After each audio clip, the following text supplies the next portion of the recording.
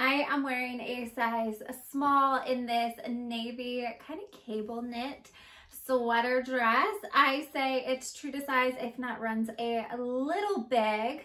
So my waist is a 26 and I do have some like extra. It's not obnoxiously large, so I will keep it. It does have elastic around the waist and I want to come in so you guys can see the cable knitting. I know sometimes it's hard to see it on darker colors. It has elastic around both wrists to kind of give it that ruffle. It has a square neckline, which I absolutely love. And is really a great length. So I am five four, and it comes right above the knee.